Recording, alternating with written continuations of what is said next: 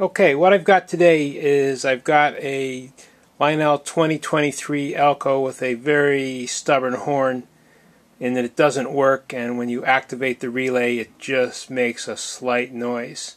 Now I've tried adjusting it by way of the uh, little adjustment screw under the horn but it just doesn't work reliably. So what I'm going to do is show you uh, how to take apart the horn, clean the contacts inside, and assemble it and uh, possibly have it work again. Now, what I've done here is I've obviously removed the horn from the train frame and with this little screwdriver I've gently, and I mean gently, pried all the little tabs away from the rim of the horn and you have to just do the minimum amount of prying that you can do to remove the front cover because they will break right off on you and then your horn will never work again, I promise you. So I've done that and now I've taken the horn apart. And the way these horns work is this contact on the top here, this makes the electrical contact to the solenoid coil by way of this little button here through ground. And what happens is when that makes contact, this uh, vibrating arm here is then drawn down by magnetic force to the solenoid coil. When it hits the solenoid coil, the contact is broken between this little contact and that little contact, and the lever wants to come back up. And what happens is it just repeats and vibrates very fast by making and breaking the contact. What happens in these horns many times is this little contact gets oxidized, this contact gets oxidized, and this actually this flapper arm, which is sort of rusty in this one, but it can be made to work again. The uh, surface between the magnetic plate and the contact here gets corroded, and it, it makes for uh, poor contact. So what I've done is I've taken some uh, I had a piece of sandpaper here. It's like 400 grit. And I polished this off here to make sure that contact's good. And over here, I polished the top contact on, on the horn. And I took a little bit uh, more abrasive paper. I had some 320 going here. And I've just polished off the underneath of this contact here. Okay, what I've done now, I've cleaned those contacts up with some uh, some sandpaper and, and made sure they're as nice and clean as I can get them. I've got this little screwdriver here just wedged under the bottom of the armature, pushing the contact up to the horn relay, making the circuit. And then over here, I just grabbed this old piece of wire I had lying around, and I've got the bottom of it grounded to the frame, and the top part is now going to provide ground to the horn.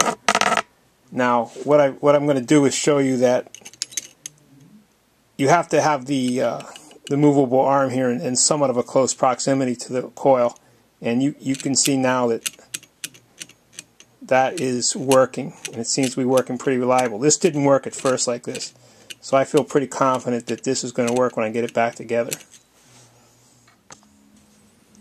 Another thing you want to do is take the cover, the vibrator cover, and this on the edges, clean those up because that, that is the ground path. Okay, so if there's if there's any corrosion there, which this one is corroded, but it's it's good enough. Just polish it up a little bit. It doesn't it doesn't have to be perfect, but uh, this this will help. And then uh, same thing with the uh, same thing with the cover here. Okay, what I've done now is I've assembled the top of the horn and all its components back together. And what I'm going to do is just make sure that all my uh, little tabs are crimped securely. And you've got to make sure that they are secure.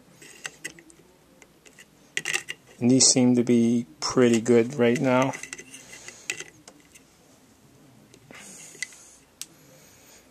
There we go. Okay. Now, I'm going to test this in real time, so if it works, it works. If it doesn't, it doesn't, and you can all laugh at me.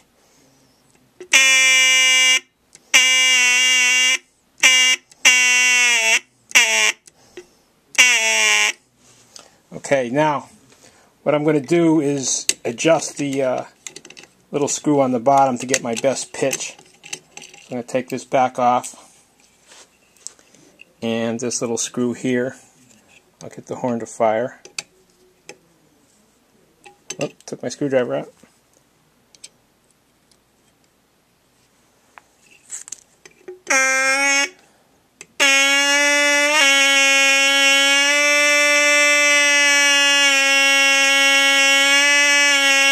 That sounds pretty good.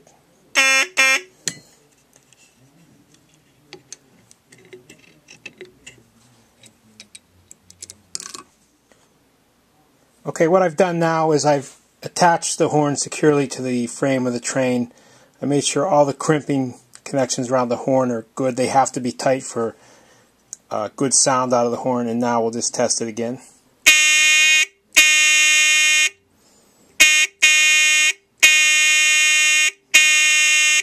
And that sounds as good as any horn that uh, I have, maybe better. So I hope this helped somebody, and uh, thanks for watching. Okay, what I've done here is after I've got this whole thing together and tried it with the transformer, what I found was the horn relay was sticking and then it wouldn't shut off. And it was actually one of the worst ones I've seen. So what I do, it's an easy fix, is I took a little section of black electrical tape and stuck it on the bottom of the movable armature contact. And what this does is prevent the armature contact from sticking to the coil core magnetically. And it doesn't really interfere with the operation of the horn or the relay, and it, it's a quick and easy fix that, that works pretty well. And now it cycles reliably and the horn sounds good and I'd have to call this whole thing a success. Thanks for watching again.